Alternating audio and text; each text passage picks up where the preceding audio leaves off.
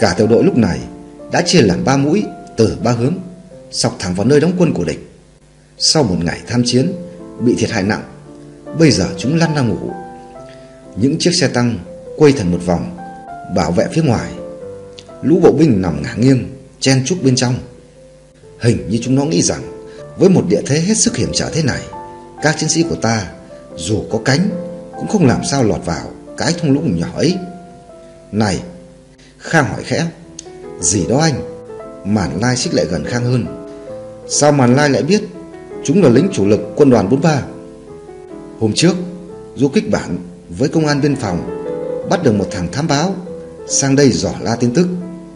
Nó khai như thế. Nhiều nữa chứ, nhưng mình không được biết. Chủ tịch không giao súng cho mình, thấy thằng giặc không có gì để bắn, tức lắm. Ừ, bây giờ anh đổi cái súng đó cho mình một lúc đi. Giọng Màn Lai năn nỉ tha thiết. Không được, Khang nói dứt khoát.